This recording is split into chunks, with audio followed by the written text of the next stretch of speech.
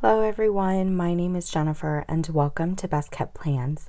Today's video is a cash envelope stuffing for the paycheck that I received on March 31st, 2022, using the printable version of the Budget by Paycheck workbook from the Budget Mom. If you're interested in seeing that, please stick around.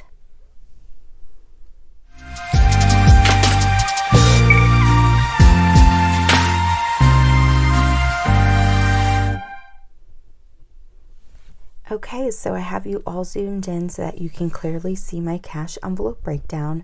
Because of that, you can't see all of the bills that I have here.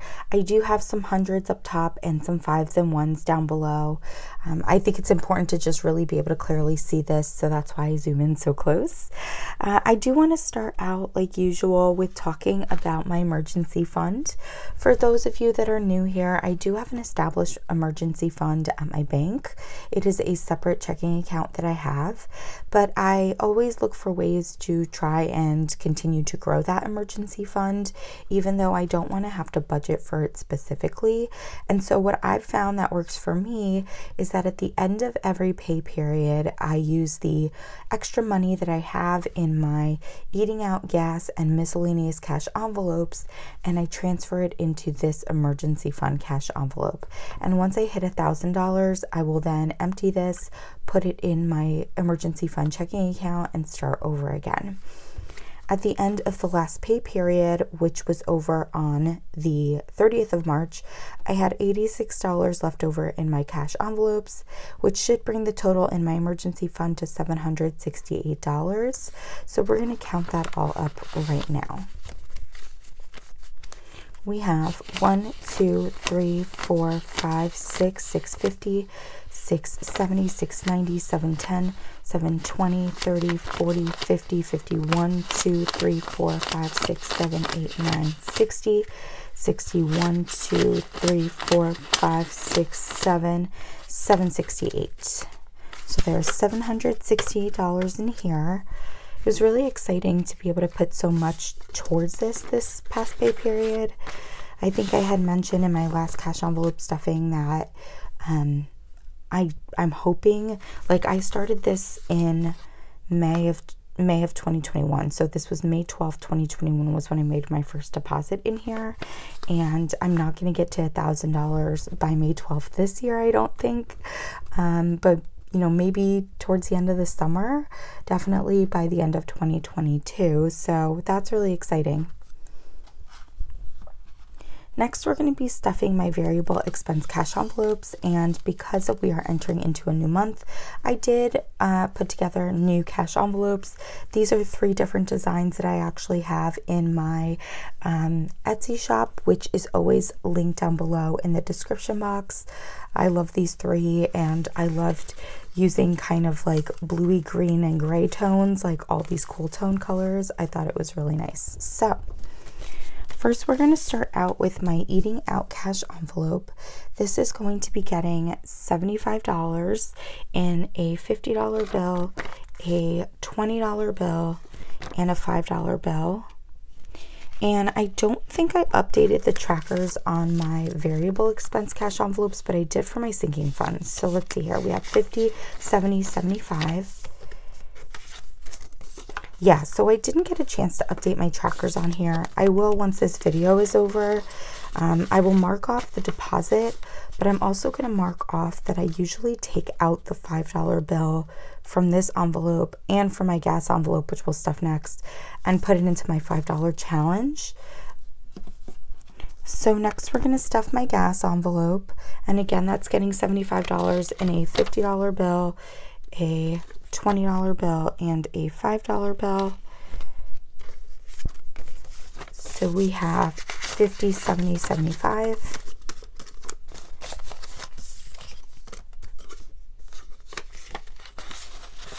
And again, I will update this envelope to mark the deposit and then me taking out that $5 bill after I'm done with this video. And then lastly, we have um, my miscellaneous envelope. So this is the one envelope that generally has some variability in terms of how I stuff it from pay period to pay period. And the reason for that is I usually pull whatever cash I'm going to put towards any of my savings challenges from my miscellaneous envelope. And so I always have that in mind when I'm stuffing this envelope.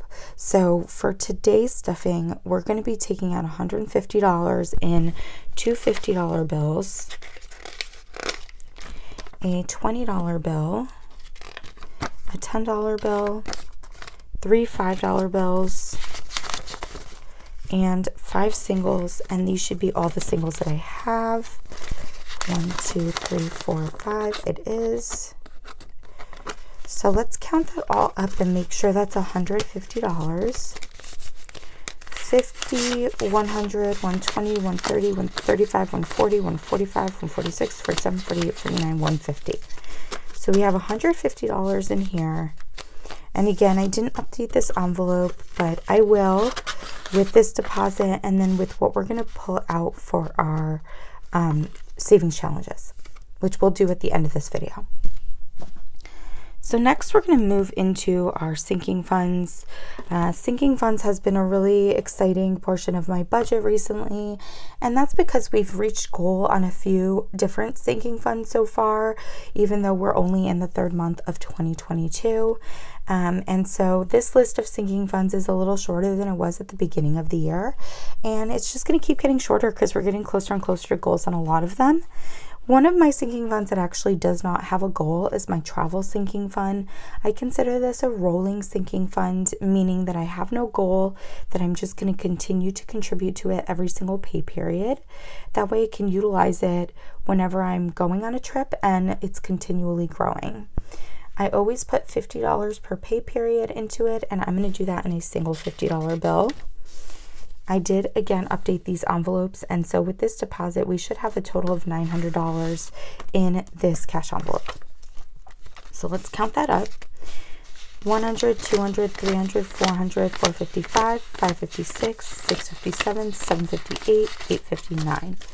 $900. That's really exciting. We're almost to a $1,000. I'm so happy about that. Next, we have my Christmas sinking funds. Now, in my last cash envelope stuffing, I think it was my last cash envelope stuffing, I was talking about how um, I'm going to be reaching goal on another one of my cash envelopes today and I was going to have some extra cash and I didn't know whether I wanted to put it towards my Christmas envelope or towards my car insurance and car taxes envelope. And I asked for your opinions and everyone said car insurance and car taxes so this envelope is going to continue to get its usual $25 and that's going to be a $20 bill and a $5 bill. Whoops. So we have our $25 here and with this deposit, we should have a total of $563 in this cash envelope. So I'm just going to add these bills in and then we will count everything up. Okay, so 563. So we have 1, 2, 3, 400, 420, 40, 60, 80, 500, 520, 30, 40, 50, 55, 56, 57, 58, 59, 60, 61, 62, 563. So that is awesome. The goal on this envelope is $700, and so we are less than $150 away from reaching goal on this, which is great. Next, we have my medical cash envelope. So as you can see on the front, the tracker is completely filled in for this cash envelope, and that is because with this deposit, we are going to reach goal. I usually put $20 per pay period towards my medical sinking fund, but because I'm doing a, a sinking fund snowball to get to my goals more quickly, meaning when I reach goal on an envelope, I still contribute that cash to my sinking funds. I just put it in a different envelope. Um, because of that, um, I'm able to reach goal on this by adding $30 to this uh, to the envelope for this pay period. So I'm going to do that in a $20 bill and a $10 bill. I can actually move my bills up. So we have $30 here. And as you can see with that $30 deposit, we're reaching $500, which is my goal for this envelope. Actually, I haven't touched this envelope at all this year, which is really cool. So let's count this up.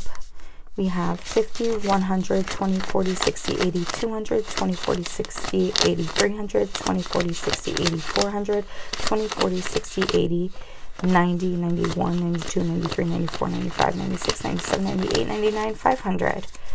So we are at $500, which is great.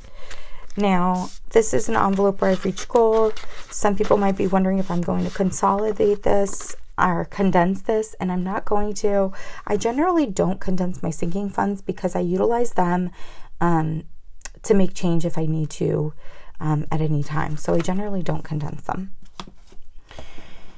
Next, we have my car maintenance sinking fund. This is another one of those rolling sinking funds, which is why I don't fill out the tracker here on the front. front. I contribute to this every single pay period. I will continue to every single pay period. My car is over seven years old. I've been very fortunate and only had to do basic maintenance to it, but I know that the likelihood of needing to put more money towards my vehicle uh, increases as it gets older, and I want to be prepared for that. And so I'm just going to continue to save and save and save for that. Um, I also have in the back of my mind that if I ever, you know, whenever it is that I decide to purchase a new vehicle, I can certainly utilize some of this cash towards that, given that after I get a new vehicle, I likely won't need a really bulked up car maintenance fund for a while. So um, I always put $50 per pay period towards this sinking fund, and I'm going to do that in a single $50 bill. And with this deposit, we should have a total of $1,287 in this envelope. So let's count that up.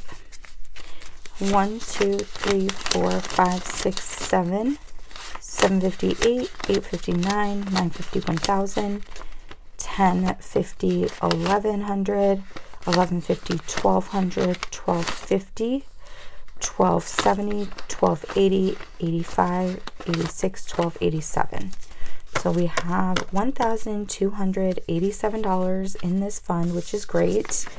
I will be taking from here soon. I do need an oil change soon.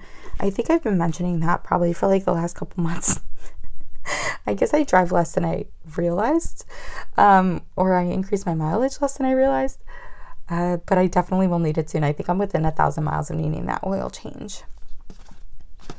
Next, we have my car insurance and taxes. And like I mentioned earlier, this is the fund where I'm basically funneling all of my um, extra sinking funds cash into from the envelopes that I've already um, reached goal on. So I reached goal on my holidays, birthdays, and subscriptions envelopes. So all of that cash is being funneled into here. Um, and that's really exciting. So today, for this um, cash envelope stuffing, we're going to be putting $115 towards my car insurance and taxes. And we're going to do that in a $100 bill, a $10 bill, and a $5 bill. So we have 100, 110, 115. And with this deposit, we should have a total of 1305 in this envelope. So I'm going to add these bills in here and then we can count this all up together. So we have 1, 2, 3, 4, 5, 556, 657, 758, 859, 950, 10. So this is a 1,000. 20, 40, 60, 80, 11, 20, 40, 60, 80, 1200, 20, 40, 60, 80, 90, 1300, 1305.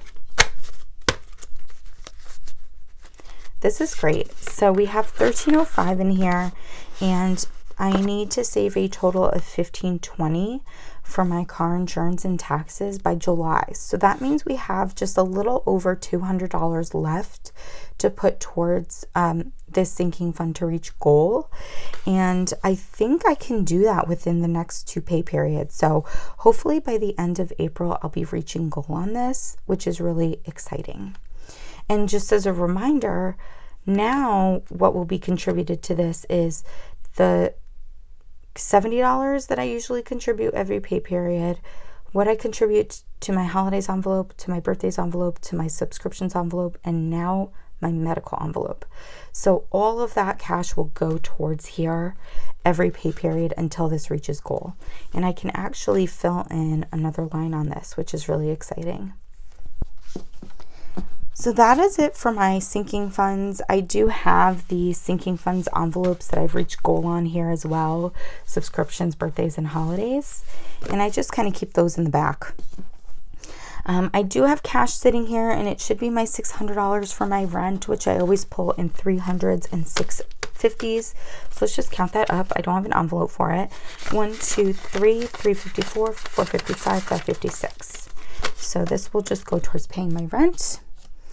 And then the only things that we have left to do are to contribute to my um, 2022 sinking funds and my 52 week challenge. I mean, 2022 savings challenges and my 52 week challenge. And I'm actually going to go to April's monthly view to look at that. So let me zoom out just a little bit. So basically, um, I was paid the last day of March. It's actually April 1st when I'm filming this.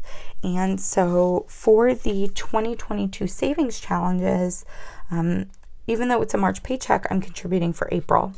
And I don't get paid again until April 14th. So um, for this month, um, there's two savings challenges. One is going to come from my cash envelopes, one's going to come from my paycheck. The paycheck one I'm pulling out in one amount on the 28th of April, my last payday.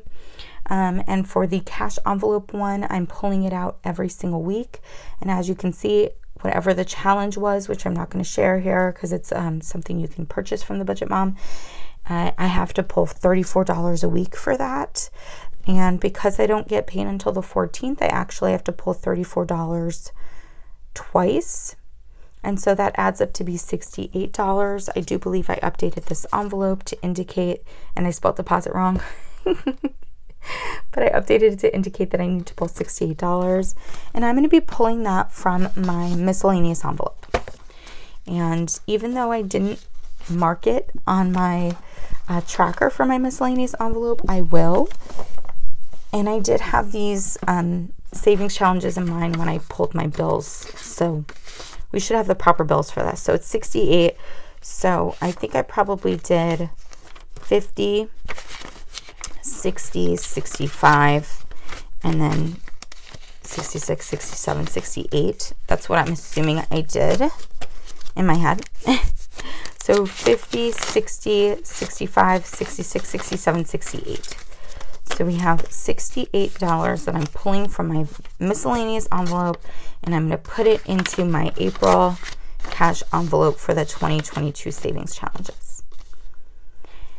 And then lastly, oops, I have to contribute to the 52 week challenge. And that's what this 13 and 14 over here are on Sunday. I always um, have it marked on Sunday what I have to pull each week for that challenge.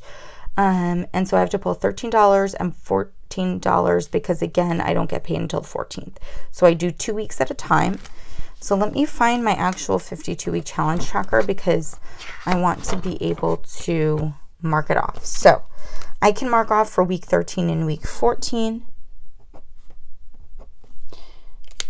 And 13 plus 14 is $27. I did mark it off on the envelope, I should end up with a total of 105, which is exactly what we have listed here on the tracker.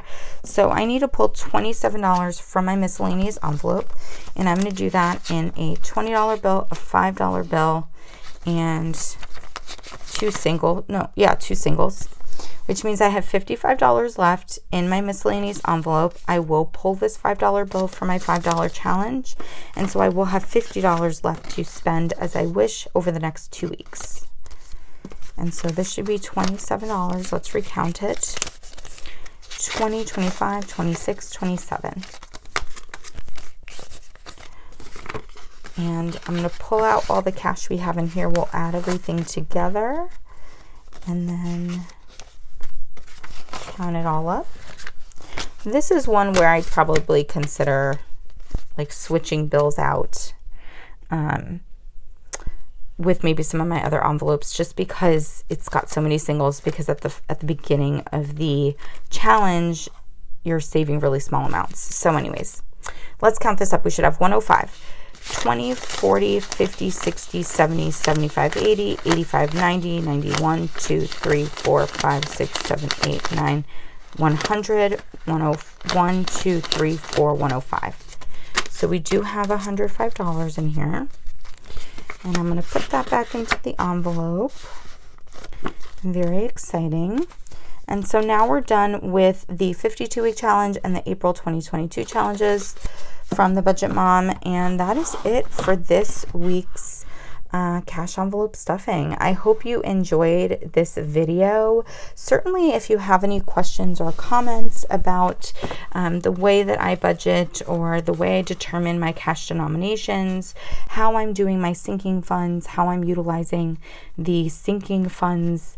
Um, sinking fund snowball that I'm doing to reach my goal on my sinking funds. If you have questions about the 52 week challenge, this envelope and the tracker that I showed um, are available in my Etsy shop as well. You can always put questions or comments down below. I do really appreciate and enjoy hearing from you all. And as always, everyone, please be safe. Bye bye.